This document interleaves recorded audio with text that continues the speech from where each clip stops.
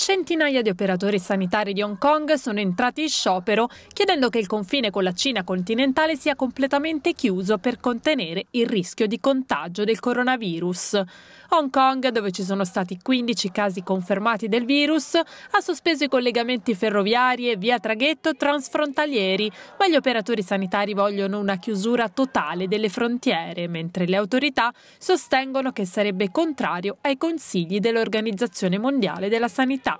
A incrociare le braccia centinaia di operatori sanitari considerati non essenziali, ma il sindacato ha fatto sapere che i lavoratori in prima linea, compresi medici e infermieri, limiteranno nei prossimi giorni se le loro richieste non verranno soddisfatte.